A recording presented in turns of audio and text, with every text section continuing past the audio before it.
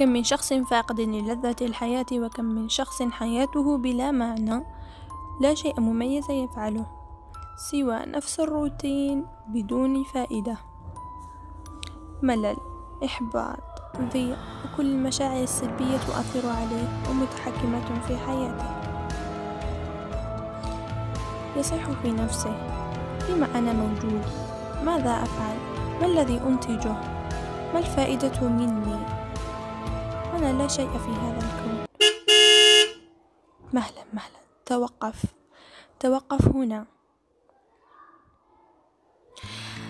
السلام عليكم ورحمة الله وبركاته. أهلا وسهلا ومرحبا بكم في قناتي خديجة أنفال. موضوعنا لهذا اليوم سيكون تحت عنوان عش من أجل هدفك ورسالتك في الحياة. خلقنا وأوجدنا الله سبحانه وتعالى في هذا الكون.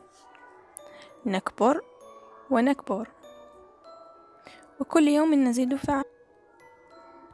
ونجد أنفسنا داخل مجتمع كل يوم نزيد من ترابطنا وتواصلنا مع أفراده. وطبعا لكل فرد مكانته ولكل فرد دوره ولكل, ولكل فرد غايته وهدف يسعى إليه في حياته هذه وأول مهمة لنا هي عبادة الله سبحانه وتعالى من أوجدنا في هذه الأرض. فقد قال أفحسبتم أفحسبتم أنكم عبثا وأنكم إلينا لا ترجعون. لم نخلق عبثا. لم نخلق عبثا بدون بلا قصد وبلا غاية وبلا حكمة. وسنحاسب على وقتنا وجهدنا وصحتنا فيما أفنيناه. فالبعض منا خلق لكي يبث العلم. على شكل مثلا مدرس آخرون خلقوا لإسعاد أشخاص آخرين. أما البعض الآخر فقد تكون مهمته في هذه الحياة تغيير مسار حياة شخص ما. أو ربما بتصرفاتك وأفعالك قد تكون قدوة لبعضهم. قد تكون سببا في إنقاذ حياة.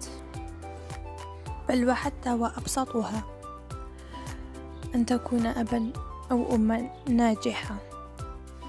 تبني بذلك مجتمعا ناجحا السؤال الآن كيف أعرف دوري ورسالتي في هذه الحياة؟ ستجد الإجابة عن هذا السؤال عند جوابك للسؤال لماذا أفعل هذا؟ فعند سؤالك لماذا أفعل كل فعل تقوم به تستمتع بما تفعله طبعا نقصد بالمفيد من العمل وليس أي عمل. هذا لأنك لا ترى العمل كعمل وفقط وإنما تراه من صورته الكبرى ومن زواياه المختلفة. ترى أثره عليك وعلى مجتمعك وتعمل العمل للغاية منه وليس العمل وفقط. وهنالك تكمن رسالتك في الحياة.